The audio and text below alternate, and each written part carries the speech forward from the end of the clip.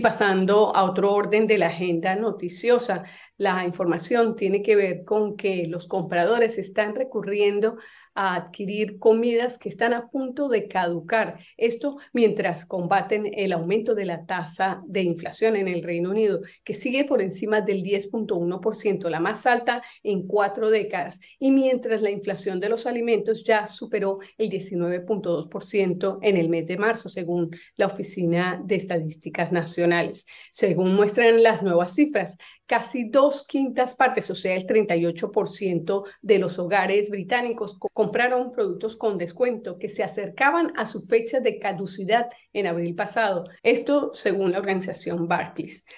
La preocupación tiene que ver con que eh, la adquisición de estos productos a punto de caducar podrían generar un riesgo para la salud de las personas, según advierten los expertos. Lo cierto es que la venta de los artículos de etiqueta amarilla que tienen sus precios reducidos por tener la fecha muy cercana a su caducidad han aumentado a medida que los precios de los alimentos y las bebidas se han ido elevando.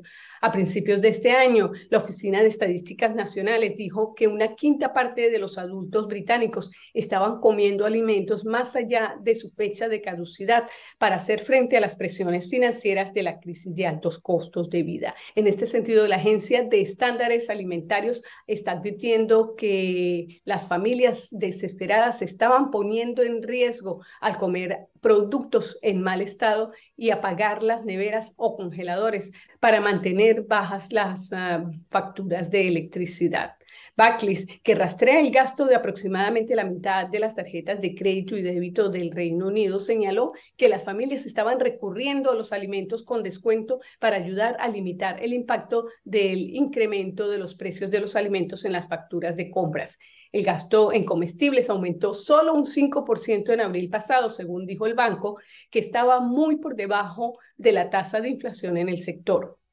Las familias también están intercambiando alimentos frescos o productos congelados para gestionar sus gastos y una cuarta parte de los clientes de Barclays lo hicieron el mes pasado. Siete de Siete de cada diez compradores dijeron que estaban intercambiando productos más baratos para reducir sus facturas de compras. Poco más de una cuarta parte han cambiado la gama de premium por productos estándares o de bajo valor.